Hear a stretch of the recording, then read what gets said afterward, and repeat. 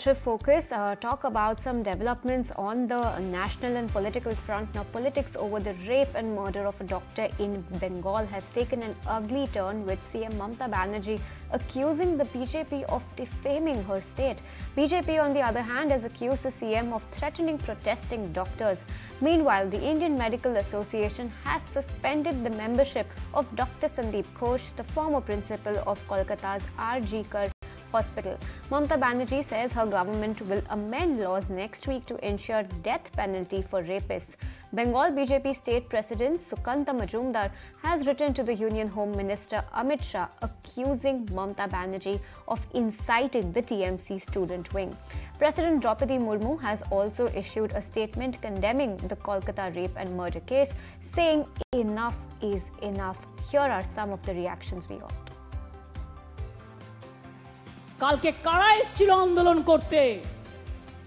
ছাত্রছাত্রীরা না guardian to call guardian to call আচ্ছা বলুন তো, যদি বাংলার লোক হয়, তারা নবান্ন চেনে না? তারা মনে রাখবেন, বাংলার মৃত্যু নেই, বাংলা অচল হয় না, বাংলা সচল থাকে।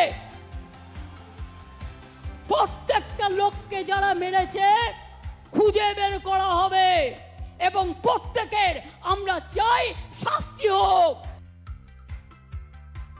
मुझे ये कहने में कोई प्रसन्नता का अनुभव नहीं होता है कि बंद अभूतपूर्व सफल रहा बल्कि मुझे ये कहने में पीड़ा का अनुभव होता है कि बंद की वह अभिव्यक्ति जो बंगाल के जन जन के द्वारा दिखाई पड़ रही है वो ममता बनर्जी जी की सरकार को सुनाई नहीं पड़ रही। और इसके बाद, जो मैंने पहले ही कहा, पुनः कह दूँ, जाँच को भटकाने, आरोपी को बचाने, सबूतों को मिटाने के बाद अब डॉक्टरों को धमकाने की एक नई रणनीति दिखाई पड़ रही है।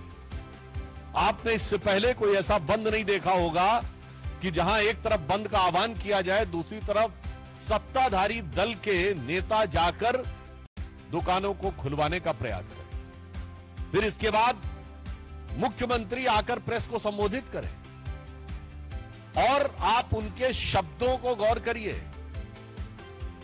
वो क्या कह रही हैं? मैं नहीं चाहती कि एफआईआर हो हम एफआईआर नहीं करना चाहते, ताकि कैरियर ना बर्बाद हो, पासपोर्ट और वीज़ा मिलने में समस्या ना हो। If you like this video, then like, share, and subscribe to ET Now.